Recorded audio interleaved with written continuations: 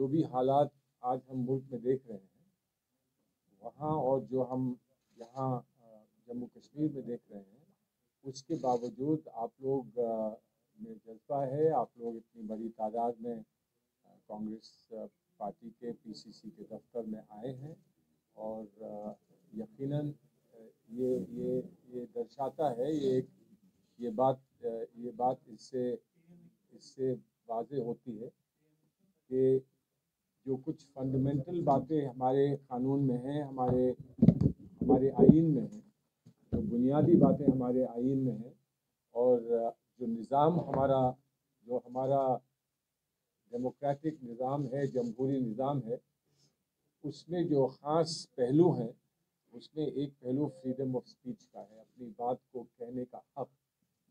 और अगर उसको कोई चीज़, उसकी निशानदेही कोई चीज़ करती है तो वो आपका प्रोफेशन करता है, आपका पार्टिसिपेशन करता है। आवाम तक बात पहुँचाने के लिए हम कितना भी दौरा कर लें, हम कितना भी घूम लें, हम कहाँ कहाँ तक जा, जाने की कोशिश कर लें, तब भी हम हर घर तक नहीं पहुँच सकते। और हर अपने मुल्क के से, के साथी के तक नहीं पहुँच सकते और उसके दिल पर दस्तक नहीं कर सकते। उसमें आप लोगों का एक बहुत बड़ा कंट्रीब्यूशन है आप लोगों की एक बहुत बड़ी हम लोगों को मदद है जो सियासी लोग होते हैं सियासी जमातों से जुड़े हुए होते हैं और इसलिए सबसे पहले मैं इस बात को एक्नॉलेज करता हूँ और आप इस, इस, इस बात को दोहराता हूँ कि हम आपके आपकी इस जो पेशकश है उसके हम शुक्रगुजार इससे पहले कि मैं जो अभी हो रहा है, उसके बारे में कुछ आपसे कहूँ। मैं इतना बताना चाहता हूँ कि मैं कुछ दिन पहले जब यहाँ बर्फ़ गिर रही थी और राहुल गांधी साहब यहाँ आए थे और तीन हज़ार से ज़्यादा किलोमीटर पैदल चल कर आए थे और आप लोगों ने उनको खुश आमदीद कहा था, यहाँ के आवाम ने खुश आमदीद कहा था। मैं समझता हूँ कि यहाँ के कहीं भी, कहीं के भी तारीख में, इतिहास में ऐसा कोई रिकॉर्ड नहीं होगा कि ऐसा मौसम हो चारों तरफ़ चारों तरफ़ बर्फ़ गिर चुकी हो सरों आपके, हमारे सरों पर बर्फ़ गिर रही हो और उसके बावजूद इतनी बड़ी तादाद में सड़कों पर निकलने निकल कर लोगों ने उनको खुशामदीद कहा। उसके बाद जो यहाँ पर स्टेडियम में जलसा हुआ, उस जलसे में गिरती बर्फ़ में आकर लोग कई घंटों तक खड़े रहे। और मैं यहाँ की पीसीसी को मुबारकबाद देता हूँ, अपने सर साहब को मुबारकबाद देता हूँ कि इनकी जो कोशिश और राहुल जी का जो अट्रैक्शन था कश्मीर में वो उन्होंने खुद माना है। उनमें, उन्हें खुद ताज्जुब था कि इतनी बड़ी तादाद में ऐसे मौसम में लोग यहाँ पर उनके लिए आए। उसके बाद वो फिर यहाँ दौर, दौरे पे आए थे। उनकी, उनका एक प्राइवेट दौरा था। उसमें फिर बहुत सारे लोगों से उनकी मुलाकात हुई और यकीनन जो उन्होंने जज्बाती बात कही उसी से मैं आज जो हादसा हो रहा है उसके आ, उसका ताल्लुक समझता हूँ। उन्होंने यहाँ आकर ये कहा था कि मैंने अपनी माँ से ये पूछा था कि हमारा घर कहाँ है। जैसे अंग्रेज़ी में हाउस हाउस और होम में बड़ा फ़र्क होता है। हमारी ज़बान में घर को घर ही कहते हैं, लेकिन मकान कुछ कहलाता है और कुछ घर कहलाता है तो आपके पास मकान हो सकता है। मुमकिन है कि वो घर ना हो। इसलिए जब अपने गाँव की बात करते हैं, अपने देश की बात करते हैं तो फिर घर घर का सवाल आता है, और उन्होंने इस बात को आपके सामने रखा कि मैंने अपनी माँ से पूछा कि हमारा घर कहाँ है, और माँ ने कहा कि हमारा कोई घर नहीं है। तो मुझे ये समझ में आया कि मेरा घर यहाँ की आवाम के बीच में ही मेरा घर है इन्हीं के बीच में मैं रहूँगा तो मुझे ऐसा लगेगा कि मेरा घर। तो उनसे मकान छीनने की किसी ने आज कोशिश की। वो एमपी थे, उनका उनको मकान मिला था, उनको रेजिडेंस मिला था, वो छीनने की कोशिश की है। लेकिन उनका घर नहीं कोई छीन सकता और इसलिए मुझे कहने कहने में फ़ख्र है और खुशी है कि मैं इस बात को कश्मीर की वैली में कह रहा हूँ, जहाँ उन्होंने आकर अपनी ज़बान से ये कहा और दिल से ये बात उनकी निकली थी कि मुझे ऐसा महसूस हो रहा है कि घरों में अगर घर की निशानदेही करूँ तो मुझे ऐसा महसूस हो रहा है कि यही मेरा घर है, यहीं से मैं आया हूँ, यहीं से मेरे बुज़ुर्ग आए हैं और यही मेरा घर है। तो इसलिए घर का आज सवाल है। हम सब के लिए ये मुल्क हमारा घर है, हिंदुस्तान हमारा घर है, और इस घर के जो हालात हैं, वहाँ जो कुछ हो रहा है, उस पर ज़ाहिर है हमको चिंता है, हमें तकलीफ़ है शिद्दत की शिकायत है और इसमें हमारी जस्तजू कि इस घर को हम महफूज कैसे रख पाएँगे? और घर का एक, घर का एक पहलू यहाँ की जमहूरियत है। घर की जमहूरियत है। ये घर जमहूरियत से अलग नहीं किया जा सकता और इसलिए जमहूरियत पे जब वार होता है तो यकीनन हम सबको हम सबको बड़ी तकलीफ़ होती है और इसलिए आज उसको बयान करने हम आपके सामने यहाँ मौजूद हैं। जो भी हादसा हुआ है, उसकी बहुत तफसील में मैं नहीं जाऊँगा।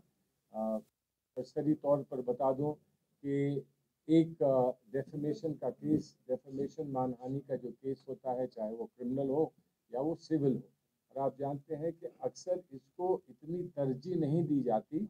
बहुत सारे केसेस होते हैं कोर्ट में, और आप जानते हैं हम लोग हम लोग यहाँ वकील कई हैं, लेकिन कोर्ट्स में बावजूद हमारी जस्तजू और कोशिश के मामले बहुत जल्दी तय नहीं हो पाते वक्त लगता है। और इसलिए ताजुब इस बात का है कि ये केस इतनी जल्दी तय हो गया। केस क्या गुजरात में होना था? कि गुजरात से कहीं और दूर होना था? कोलार में कही हुई बात कोलार की कही हुई बात कोलार कर्नाटक में उस पर केस ना किया जाए और केस जाकर गुजरात में किया जाए ये एक बड़ा सवाल है, ऐसा क्यों है? और अगर जब ऐसा होता है तो कानूनी जो निज़ाम है, कानूनी निज़ाम में मैजिस्ट्रेट को पहले अगर मैजिस्ट्रेट की फ़िज़िकल जोरिस्डिक्शन से बाहर का कोई की कोई शिकायत है तो उसको पहले एक इंक्वायरी करनी होती है, पहले तफ्तीश करनी होती है कि क्या ये केस यहाँ किया जा सकता है कि नहीं किया जा सकता। ये भी एक दूसरा पहलू है जिस पर सवाल उठेंगे। जब अपील होगी तो ये सारी बातें अपील में ले ली जाएँगी और जल्द मुझे उम्मीद है कि अपील होगी। तो एक बात तो ये रही, दूसरी बात ये रही कि किसी ने केस किया, सही गलत जैसा भी किया, किसी ने केस किया, बीजेपी के एमएलए हैं, केस करने के बाद किसी वजह से उन्हें लगा कि इसमें हमारा काम नहीं चलेगा तो इसलिए खुद जाकर खुद जाकर फरीक ने जाकर खुद केस को रुकवा दिया। हाई कोर्ट से जाकर एक स्टे ऑर्डर दे दिया और वो एक साल भर तक, तकरीबन एक साल तक वो केस रुका रहा क्योंकि हाई कोर्ट का स्टे ऑर्डर था। जब राहुल जी के तेवर इनके बस में नहीं रहे, जब राहुल जी ने बहुत तीखी तरीके से इनको अटैक किया, बीजेपी को, अडानी को और और मोदी जी को अटैक किया तो उसके फ़ौर बाद वो केस हाई कोर्ट से विड्रॉ करके और मैजिस्ट्रेट से फिर कहा गया कि वो केस टेकअप कर लें और मैजिस्ट्रेट ने टेकअप किया बहुत जल्द किया और जल्द करने के बाद फैसला भी सुना दिया। अब हम सब जो वकालत में हैं हमने हर एक से आपस में बात करके ये पूछा है कि कभी किसी को ये मालूम है याद है कि कोई केस मानहानि का हुआ हो और क्रिमिनल डेफेमेशन का केस हुआ हो जिसमें जो मैक्सिमम सज़ा होती है सज़ा की इंतहा होती है वो वो दो साल की है कि मैक्सिमम सज़ा किसी केस में दी गई हो। कोई हमें नहीं मिला है, कोई हमें नहीं मिला। ये चिदम्बरम साहब ने भी कहा, उनका भी अपना तजुर्बा। मेमन साहब उसके एनसीपी के बहुत पुराने क्रिमिनल लॉयर रहे हैं। उन्होंने तो मुझे फ़ोन करके ये कहा कि आप बताइए आप बताइए, मैं 40 साल से प्रैक्टिस कर रहा हूँ, क्रिमिनल प्रैक्टिस कर रहा हूँ। मैंने कभी दो साल की सज़ा कभी नहीं सुनी। मैंने सज़ा ही नहीं सुनी अक्सर लेकिन दो साल की सज़ा तो मैंने कहीं नहीं सुनी। तो ये बात भी एक सवाल उठता है और प्रोपोर्शनैलिटी जो होती है कानून में कि आपको सज़ा उतनी देनी चाहिए जितनी सज़ा बनती है। मैक्सिमम सज़ा नहीं दे, दे, दे दी जाती है। तो इसको भी अपील में मुझे आ, मुझे यकीन है कि इसको भी हम टेकअप करेंगे और तब मामला सामने आएगा। तो ये तो हुई अपील की बात। अपील का हमको हक है। हम अपील में सेशंस कोर्ट में जा सकते हैं। सेशंस कोर्ट में अगर हम मुतमिन ना हो तो हम हाई कोर्ट जा सकते हैं। हाई कोर्ट से हम अगर मुतमिन ना हो तो हम सुप्रीम कोर्ट जा सकते हैं। तो ये सारा एक निज़ाम है, कानूनी निज़ाम है, जिसमें हमें जाने का मौका मिलेगा। और हमें उम्मीद है कि हमें उसमें राहत भी मिलेगी। लेकिन ये सब जब चल रहा है और जब कोर्ट ने खुद कहा, और इस बात इस बात को यकीनन इस बात को हमें अंडरस्कोर करना चाहिए कि कोर्ट ने खुद कहा कि ये सज़ा अभी हम तीस दिन के लिए, एक महीने भर के लिए, ये सज़ा जो है हम मुलतवी कर रहे हैं, हम सस्पेंड कर रहे हैं। तो इसका मतलब सज़ा फ़ौरन शुरू नहीं होगी जब तक कि आगे की कार्रवाई सामने नहीं आ जाती। सज़ा फ़ौरन शुरू नहीं होगी। उसके बावजूद डिसक्वालिफिकेशन पार्लियामेंट से बाहर करना फ़ौरन कर दिया गया। अगले दिन ही कर दिया गया। अगले दिन ही करा। एक दिन नहीं रुके, कुछ घंटे नहीं रुके, पता करने के लिए कि क्या ये सही चीज़ है जो हम कर रहे हैं या इसका कोई और रास्ता है, फ़ौरन कर दिया गया। डिसक्वालीफाई कर दिया चलिए वो ये कहते हैं कि डिसक्वालिफिकेशन ऑटोमेटिक होता है। जो सेक्शन एट थ्री है, उसमें जैसे ही सज़ा हो, फ़ौरन ही डिसक्वालिफिकेशन हो जाता है। ये उनका कहना है। अगर वो सही है तो कोर्ट में पता चलेगा। लेकिन उसके बाद उसके बाद मकान से मैं घर नहीं कह रहा हूँ क्योंकि घर की बात हम कर चुके हैं। मकान से रेजिडेंस से फॉरन नोटिस देकर ये कहा कि अब आपको ये रेजिडेंस रेजिडेंस छोड़ना है जिसको राहुल गांधी जी ने जवाब में ये कहा कि जो आपका जो आपका पैगाम मुझे मिला है जो आपका नोटिस मिला है उसका पूरा लिहाज होगा उसका पूरा आदर होगा। और आप आप घबराइए ना आ, मैं आप आपको वक्त से इस घर को मैं छोड़ दूँगा। हम नहीं चाहेंगे कि वो छोड़ें, हम नहीं चाहेंगे कि ऐसा ऐसा भी वक्त आए कि उनको छोड़ना पड़े। लेकिन बहरहाल वो अलग बात है। रवैये की बात कर रहे हैं कि जो लोग निज़ाम इस मुल्क का जिनके हाथ में है, उनका तौर तरीका और उनका रवैया क्या है? जब ऐसा नहीं है, आप भी जानते हैं, हम भी जानते हैं कि बहुत सारे ऐसे केसेस हैं जिसमें बहुत लंबे अरसे तक घर में रहने की इजाज़त दी है, इसी हुकूमत ने दी है। और कई उसके वजूहत होते हैं और उनके पास ये पावर होता है, लेकिन एक सीनियर लीडर को ऑपोजिशन पार्टी सबसे बड़ी ऑपोजिशन पार्टी के सीनियर मोस्ट लीडर के साथ ये तरीका अपनाया जाए। ये अच्छी बात नहीं है इस मुल्क के लिए और इस मुल्क के निज़ाम और इस मुल्क के तौर तरीके पर के लिए ये अच्छी बात नहीं है। अब ये सब हो क्यों रहा है? हमारा ये मानना है ये हो इसलिए रहा है कि राहुल गांधी जी ने है कि हम इस मुल्क में, इस मुल्क में जमहूरी निज़ाम को साफ़ सुथरा रखेंगे और इसकी जवाबदेही हम हुकूमत से लेंगे। और हुकूमत से किस बात की जवाबदेही है कि क्या कोई ख़ास ऐसा ऐसा ताजिर है, कोई ख़ास ऐसा इंडस्ट्रियलिस्ट है जिससे आपको ख़ास मदद मिलती हो या जिससे आपका कोई ख़ास रिश्ता हो और जिसकी वजह से उसे आप आउट ऑफ़ वे जाकर फेवर करते हैं। और उसके लिए हमने इस बात को वाजे किया है कि उन्हीं के जहाज़ में, अडानी के जहाज़ में मोदी जब वज़ीर अजम बनने का ओथ लेने आए थे तो मोदी के जहाज़ में बैठ कर आए। और तस्वीरें हैं जिसमें जिसमें मोदी जी मोदी जी अडानी के जहाज़ में उनके साथ बैठे बैठे हैं और और मुस्कुरा रहे हैं, हंस रहे हैं। और भी तस्वीरें हैं जहाँ एसबीआई के चेयरमैन के साथ ऑस्ट्रेलिया में प्राइम मिनिस्टर और अडानी बैठे हैं। फ़ौर बाद उसके बहुत बड़ा बहुत बड़ा लोन एसबीआई ने अडानी साहब को दिया। उसी के साथ, उसी के साथ कई और ममालिक हैं, जैसे बांग्लादेश बांग्लादेश है और और ममालिक हैं, जहाँ पर जहाँ पर बहुत बड़े ने दूसरे प्राइम मिनिस्टर से जब बात की और वहाँ से ही ये बात वाज हुई है, वहीं से ये बात साफ़ आई है कि उन्होंने ये इशारा किया। इशारा किया किया? बल्कि कह दिया कि हम ये करेंगे जब अडानी साहब अडानी को ये कॉन्ट्रैक्ट मिलेगा। तो कॉन्ट्रैक्ट मिलेगा, क्यों मिलेगा? और लोगों का क्या हक नहीं था? क्या इसको इसको जिस तरह से हमारा हमारा पब्लिक लॉ का निज़ाम है कि उसमें हर एक को मिलना चाहिए अपनी बात कहने का और उसके बाद उसमें से जो बेस्ट होता है उसको चुना जाएगा। लेकिन ये सब अपनी जगह है और उसके बाद जब राहुल जी ने एक बात कही कि बीस हज़ार करोड़ रुपया जो जो जो शेल कंपनीज़ हैं अडानी जी की जो सेल्फ कंपनी शेल कंपनीज़ हैं उसमें बीस हज़ार करोड़ रुपया आया है।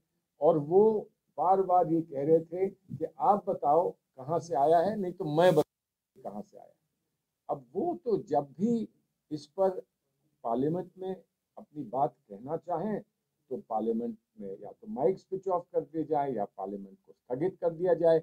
हमने देखा है कि ऑपोजिशन पार्लियामेंट का काम रोकती है, अगर ऑपोजिशन की बात नहीं सुनी जाती।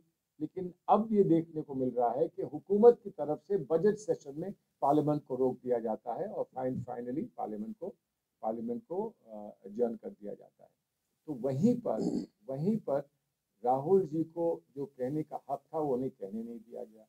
जो कुछ वो कह पाए, उसको एक्सपेंज कर दिया गया, उसको रिकॉर्ड से निकाल दिया गया। और जब उन पर सवाल उठे कि वो इंग्लैंड में क्या कहकर आए हैं, जबकि हम ये मानते हैं कि उन्होंने इंग्लैंड में जो कहा, उसमें कहीं किसी को शिकायत नहीं हो सकती। जो सच्चाई हालात के है, वो एक यूनिवर्सिटी में जाकर, जहाँ पर लोग इस बात में दिलचस्पी लेते हैं कि हम स्टडी कर रहे हैं, आपके मुल्क को स्टडी कर रहे हैं हम समझना चाहते हैं कि आपके मुल्क में क्या हालात हैं। वहाँ जहाँ सच बात कहकर राहुल जी आए तो यहाँ इल्ज़ाम ये लगा कि आप मुल्क को बदनाम कर रहे हैं। तो उन्होंने कहा, ठीक है, मैं इसका जवाब देता हूँ। जवाब देने का मौका नहीं दिया गया। तो पार्लियामेंट में बोलते हैं तो एक्सपंज कर दिया जाता है और उसके बाद उन पर कोई इल्ज़ाम लगता है तो उसका जवाब देने की उनको इजाज़त नहीं दी जाती, उनको मौका नहीं दिया जाता। और जब वो बार बार बार बार इसरार करते हैं कि नहीं मैं पार्लियामेंट में अपनी बात कहूँगा मैं अपनी बात कहूँगा मैं जवाब दूँगा तो उनको पार्लियामेंट से ही बर्खास्त करके पार्लियामेंट से बाहर कर दिया जाता है। ये क्या है? ये कैसा लोकतंत्र है? देखिए मैं जानता हूँ कि फ्रीडम ऑफ़ एक्सप्रेशन की शिकायतें आपको बहुत हैं। मैं जानता हूँ कि आपकी मीडिया के साथ किस तरह का का बर्ताव किया जाता है। मैं अच्छी तरह जानता हूँ। आप लोग सुप्रीम कोर्ट तक भी गए हैं। आप लोग सुप्रीम कोर्ट जाकर अपनी लड़ाई लड़ कर आए हैं। ये आप लोग मुझसे ज़्यादा और बेहतर जानते हैं। लेकिन लेकिन ये बात आज उस लेवल पे हो गई जहाँ जहाँ पर सीनियर मोस्ट डेमोक्रेसी के लीडर्स हैं, अपनी बात कहना चाहते हैं। तो अगर आज इस तरह से लोगों लोगों के के मुँह बंद कर दिए जा रहे हैं और उनकी आवाज़ कुचल दी जा रही है। जो सीनियर लीडर्स हैं तो जो आवाम के लोग हैं वो शिकायत करेंगे तो कैसे भी करेंगे। और याद आता है वो शेर याद आता है कि हम उफ भी करते हैं तो हो जाते हैं बदनाम और वो कत्ल भी करते हैं तो कोई चर्चा नहीं होती। ये हाल हमारी डेमोक्रेसी का हो गया है। इसी डेमोक्रेसी के हाल को लेकर राहुल गांधी जी ने एक, ये मान के चलिए कि एक कैंपेन छेड़ रखा है और हम सबको, कांग्रेस के लोगों को फख्र है राहुल गांधी पर राहुल गांधी जी ने ये कैंपेन छेड़ा है और हमारा फ़र्ज़ बनता है कि हम उनके लिए भी लड़ें। लेकिन वो आज एक सिंबल बन गए हैं, आज़ादी के सिंबल बन गए हैं कि हम, हमें अपनी बात कहने की आज़ादी इस मुल्क में, हमारी जमहूरियत में है कि नहीं है। और उससे बहुत सारी चीज़ें और जुड़ी रहती तो वो उसका आज सिंबल है, उस सिंबल को प्रोटेक्ट करने डिफेंड करने के लिए, उस सिंबल को प्रिजर्व करने के लिए हमें हर कोशिश, हर जस्तजू करनी है, जो हम करेंगे। लेकिन इस लड़ाई में, इस लड़ाई में मकसद जो है, उनका मकसद और हमारा मकसद है कि हम हिंदुस्तान की डेमोक्रेसी के हर पहलू को महफूज करें। और उससे मैं नहीं मानता कि कोई भी जुदा है। उसमें आवाम का हर हिस्सा हर लोग उसमें जुड़े हैं। और मैं तो ख़ास तौर पर कहूँगा कि आप जम्मू कश्मीर के लोग उस पर आ, आपका ख़ास उस पर हक है और उस उस लड़ाई में आप हमारा साथ देंगे। ऐसी हम मुझे मुझे पूरी उम्मीद है। यहाँ जितने हमारे साथी यहाँ बैठे हैं मौजूद साथी यहाँ बैठे हैं वो मुस्तकिल आप लोगों के साथ मुस्तकिल आप लोगों के साथ हैं। और उम्मीद करते हैं कि आप उनको नवाजते रहेंगे। अपनी जो भी आपकी जो और कोशिश है उससे उनको नवाजते रहेंगे। बहुत बहुत शुक्रिया।